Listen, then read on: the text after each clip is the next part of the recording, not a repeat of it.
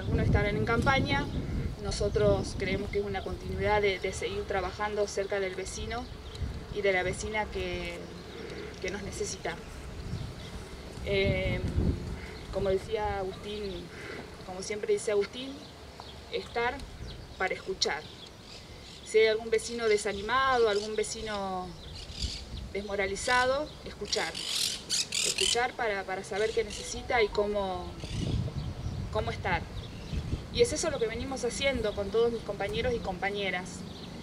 La, militancia territorial de base que instalamos nosotros acá en el 2017 con la llegada de Agustín un 9 de mayo, eh, la verdad que nos hizo crecer y construir un montón.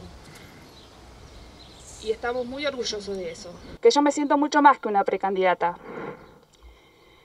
Yo me voy a sentir siempre lo soy ahora y lo seré siempre una militante del campo nacional y popular. Porque un candidato pasa, la candidatura pasa, ¿no? Lo que hay que sostener es la militancia. Eh, la militancia y el recorrido por los barrios y no olvidarse de donde uno salió. Cuesta creer que esta hermosa ciudad, capital nacional del cooperativismo, no encuentre todavía en el gobierno la solidaridad, la reciprocidad y el interés por la comunidad que tanto pregonan e impregnan los valores propios del cooperativismo. Por eso hacer política, jugársela por un conjunto de valores e ideas que tienen que ver con el campo nacional y popular, para nosotros tiene mucho que ver también con tratar de emparentarnos con el cooperativismo. Ese amor por la preocupación en el prójimo, ese amor por el interés en la comunidad, ese amor por la solidaridad tienen que ser valores intrínsecos en cualquiera de nuestras acciones políticas. Como decía Paula recién, seamos candidatos o no seamos candidatos, ganemos o perdamos una elección. Nosotros no hicimos política desde el día que empezamos a ganar elecciones, hicimos política desde el día que concebimos que hay algo en la sociedad que merece la pena transformarse en favor de los que menos tienen, en favor de los que trabajan, en favor de los que producen y en favor, en definitiva, del interés colectivo, que es un interés que tiene que estar nucleado de intereses individuales, pero nunca por debajo de ellos. Es por eso, compañeras y compañeros, que el peronismo de Sunchale puntualmente tiene mucho para hacer, mucho para concretar y mucho para crecer. En una ciudad en donde anidan los valores del cooperativismo, el peronismo no puede ser un actor secundario, tiene que volver a ser un actor primario. Y para lograr ser un actor primario tiene que tener tres cosas empoderar compañeras y compañeros permanentemente, tener vocación de transformación e ir a buscar a los vecinos y vecinas que están esperando que la política le tienda una mano, le tienda una palabra, le tienda un puente para tratar de reconstituir valores, principios y fundamentalmente sueños y posibilidades en una época tan distinta y tan difícil como la que estamos viviendo. Nosotros creemos que tenemos que incluir a todas y a todos.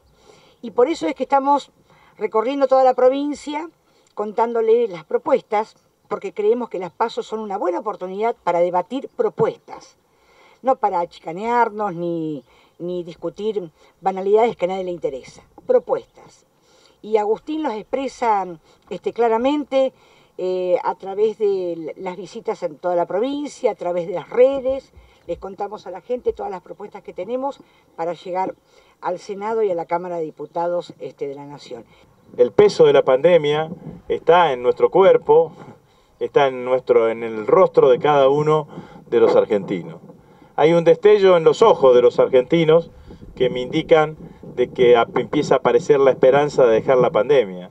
Pero no significa que todo lo que pasó, pasó. Todo lo que pasó en algún lugar de la sociedad queda. Y yo creo que nosotros de la política tenemos que dar una respuesta.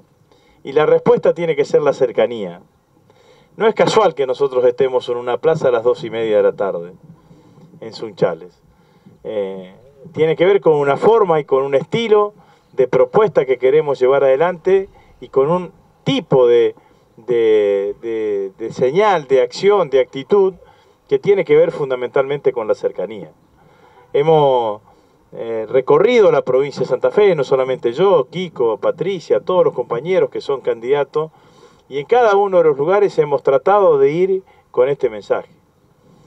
Eh, en las grandes ciudades, eh, como lo he hecho en otras oportunidades, recorrer puerta a puerta cada una de las calles y poner eh, el cuerpo y el alma para dialogar con los vecinos y con las vecinas y escuchar a cada uno de ellos cuáles son sus problemáticas, cuáles son sus problemas, cuáles son, cuáles son sus demandas.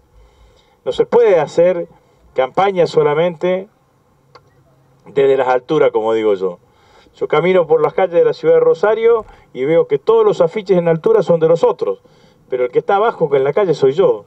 Cuando nosotros planteamos el proyecto del aguinaldo para los monotributistas de las categorías inferiores, la A, la B y la C, lo que pensamos es que era un sector de la sociedad argentina, son dos millones los que están en condiciones de recibir ese, ese, ese aguinaldo, eh, que siempre eh, escuchamos de ellos y a nosotros qué, a nosotros qué, eh, que, ven, que ven que el trabajador en relación de dependencia tiene una cantidad de derechos y una cantidad de beneficios, si se quiere, que ve que hay otros sectores de la sociedad que tienen asistencia social y que ellos como monotributistas nunca nadie se para a pensar en ellos y se puso a pensar en, en ellos.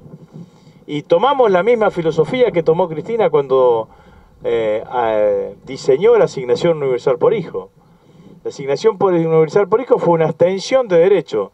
Antes las asignaciones familiares la cobraban solamente los trabajadores registrados.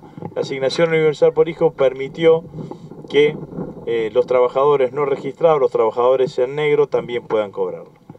Con este proyecto lo que estamos haciendo nosotros es solamente cobraban el aguinaldo los trabajadores en relación de dependencia, ahora también los monotributistas de la clase A, de la clase B y de la clase C, de la categoría A, B y C en realidad, también van a cobrar el, van a cobrar el aguinaldo.